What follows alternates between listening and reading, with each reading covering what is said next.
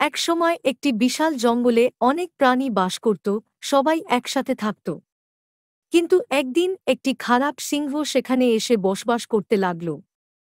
সিংহটি ছিল খুব দুষ্ট ও শক্তিশালী। ফলস্বরূপ, সে বনে ঘুরে বেড়াত এবং অন্যান্য প্রাণীদের খেতে না চাইলেও প্রতিদিন জঙ্গলের অনেক পশুকে হত্যা করত। যখনই তার খিদে পেত সে দৌড়ে গিয়ে দ্রুততম প্রাণীদেরও তাড়াত এবং মুহূর্তের মধ্যে তাদের গ্রাস করতেন। ফলে জঙ্গলে পশুর সংখ্যা কমতে থাকে। তাই বনের সমস্ত প্রাণী এক সভা আয়োজন করল এবং এই গম্ভীর বিষয়টি নিয়ে তারা কথা বলা শুরু হল। পশুরা তার কাছে গিয়ে বলল, আমাদের রাজা, দয়া করে আমাদের আর্জি শুনুন। আপনি যে হারে আমাদের শিকার করছেন, তাতে শীঘ্রই আমাদের বিলুপ্তির দিকে নিয়ে যাবে। আমরা আপনাকে আপনার গুহায় থাকতে অনুরোধ করছি এবং এর বিনিময়ে আমরা আপনাকে প্রতিদিন একটি করে পশু পাঠাব আপনার খাদ্য হিসাবে। সিংহ মনে মনে খুশি হয়ে ভাবুল, বাহ, এবার আমায় আর খাবার খুঁজতে যেতে হবে না। এটা একটি ভালো বুদ্ধি।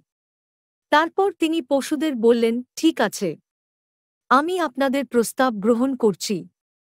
পশুরা একটু স্বস্তির নিঃশ্বাস ফেলল আর খুবই আনন্দের সাথে চলে গেল। সেই সময় থেকে প্রতিদিন একটি প্রাণী সিংহের গুহায় যেত। একদিন এক বুড়ো খরগোশের পালা এল।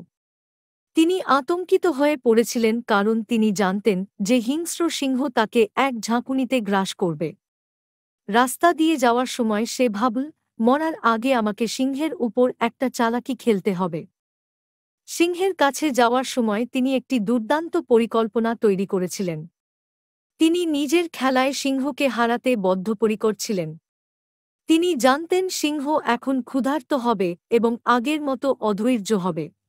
খরগোশটি আরও ধীরে ধীরে হাঁটল এবং অবশেষে সূর্যাস্তের সময় সিংহের খাদে পৌঁছে গেল। সিংহ রগে গর্জন করে জিজ্ঞেস করলেন, এত দেরি করলে কেন?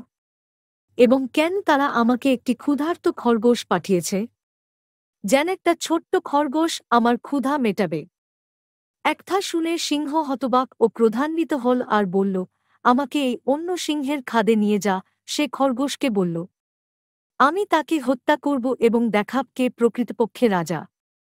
তাহলে আমাকে অনুসরণ করুন খরগোশ বলল। তারপর খরগোশ সিংহকে একটা গভীর কূপের দিকে নিয়ে গেল। খরগোশ বলল, এখানে তাকান মহারাজ, আপনি আপনার শত্রুকে দেখতে পাবেন।